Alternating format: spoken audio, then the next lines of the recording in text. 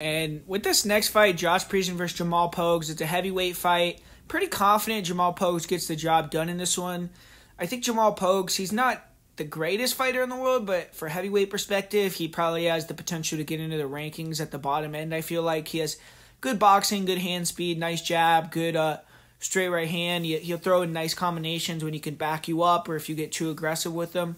And he can wrestle. He has good takedowns good top control. One thing is I haven't really seen him wrestle at heavyweight with that extra weight on him. So I don't know if he's gonna be able to hold up and wrestle, but he, we've seen him wrestle for uh, in heavyweight or in championship fights, five round fights eh, at light heavyweight, and use a lot of his wrestling to dominate fights. And I think in this one, if he wants to wrestle Josh Parisian, that'll be a very easy thing for him to do. I think he could take him down pretty easily with the doubles and uh, control him on top. Pogues isn't a world beater from the top position, but he could control that position and uh, grind guys out.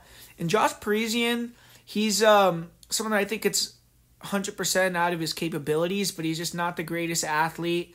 He's uh, heavyweight with, limited power. He does have good kick dexterity for a big guy. Like he'll throw a lot of decent kicks and uh, some spins and things like that. He has diverse striking and he's high volume. He is willing to put it all out there and go for 100%, get exhausted to win a fight, which you don't see a lot of fighters do, which is something that's why I think he gets the maximum out of his capabilities.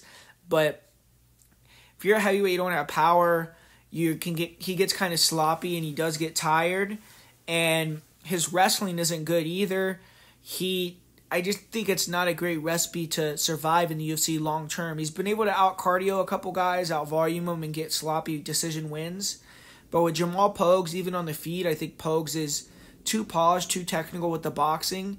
Keep shot straight down the middle, nice jab. I think he's going to be able to win with the basics against Parisian's kind of kinetic, diverse striking. And I think that he can hit the takedowns if he wants to at ease and get him down. Pogues, last fight he came back from a long layoff and maybe hopefully he you know dusted some rust off and now he's ready to come in here and use the wrestling, use his full skill set and look good here. So I I could see Pogues getting a finish on the ground if he comes in here and looks 100%. If he looks like he did in his last fight where he just wants to keep it standing, then I think he could win that way too. So I'm going to say Jamal Pogues gets it down to the ground at one point in this fight and gets a finish via TKO. So I'm going to go Jamal Pogues via TKO in round 2 or round 3.